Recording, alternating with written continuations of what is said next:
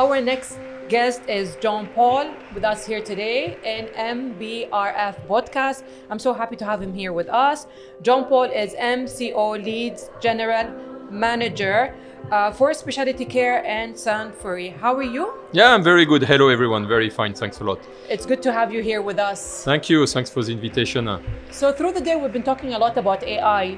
From you, we want to hear how can AI enhance the drug discovery process?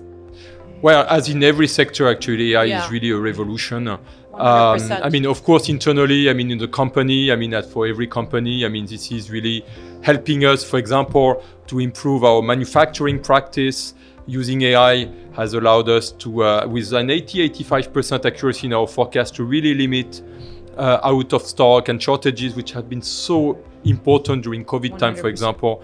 And so, I mean, yeah, it has a lots of different application. Now, one of the most important application, of course, is how can we use AI to accelerate the development uh, of new molecules and of new Yes. treatments.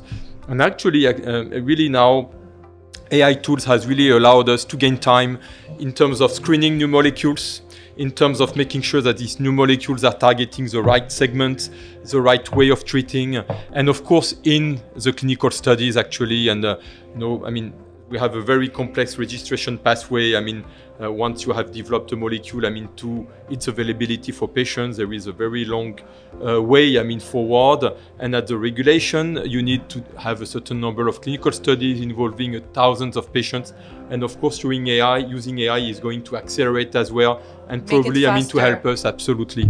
I mean, to uh, uh, with always the same objective, it is to bring new treatments which are so much needed by patients as soon as possible to these patients, and so to shorten the time to bring it to them. And maybe as well reduce the cost, I can imagine as well, yeah? So of course, because as you will limit time, obviously Yes. you will limit the cost. As you will be more effective in selecting the molecules, you will also limit the cost.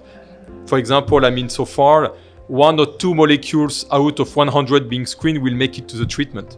So obviously, I mean, this takes time, this costs money, Of course. and using AI will really help us to target better and to accelerate the development. Okay. And what challenges, uh, John, do you do you does the industry uh, go with with uh, delivering innovation? Well, this is partly what I was mentioning. I mean, um, to create a new treatment, it takes years. It can take it can take 10, 15 years actually. Without the AI, yeah. Uh, and even with AI, I mean, we are not going to, because I mean, there, there is anyway a need to test this product, right? So you're going to test it eventually with models which are going to be So faster. even with AI, it may get rejected or it Of may. course. Oh, okay. Of course, because you never know when you start developing a molecule if it will make it to the end in terms of efficacy, in terms of safety, uh, which is, or I would say first in terms of safety and then of efficacy. Yeah. Uh, AI is going to help us actually to accelerate and probably to develop better models, which will help us uh, to uh, to improve our capacity to select well the molecule and to take it. Now, I mean, the key challenges are first, yes, the time to development anyway, the number of patients you need to include in clinical studies to give it significance and to have something which you can Yeah. after actually uh, a proof of concept you can propose to regulatory bodies. Cost. Yeah. It costs between two to four billion euros Wow. to develop a new molecule. Sanofi is investing six billion per year Wow. in research and development. I mean, out of 10 years, it's 60 billion euros Wow. invested in research and development. Now, give me two or three other industries which are spending over 10 years 60 billion euros in researching new treatment. I mean, there are not that many, right? Yeah. And probably there are two or three uh, which are, uh, I mean, investing as much as this. But with one difference is that on our side, these 60 million euros do not give a certainty to discover something. True. I mean, there is a big risk of uncertainty, of again having a molecule that you are going to work on during few years, and then just a year before taking it to market, then it fails in a clinical study because of whatever reason, and then you stop it and you have lost 10, 12 years. And then you have to start over. With And you start over again with a new molecule, right? Yeah. So, um, and the last is obviously, I mean, more and more you need to have some targeted therapy. I mean, we talk about gene- genetic therapy, genic, and so on. I mean, because today we are not searching anymore to discover new treatment in hypertension or uh, in hypercholesterolemia because I believe doctors today and patients have everything they need at their disposal.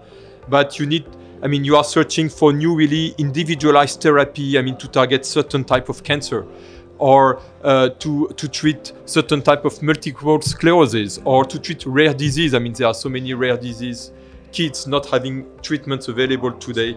So this is becoming more and more difficult, more and more precise, and you use you use different kind of technology, and it becomes a really high tech industry.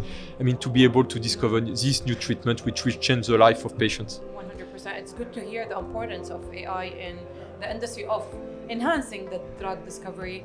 Uh, John Paul, thank you for being with us here today. Thank you for being uh, part of the MBRF uh, podcast and giving us all this insightful uh, information when it comes to uh, medicine. No, it was a pleasure. Thanks a lot. Have a beautiful Thank you very much. Thank You as well. Thank you.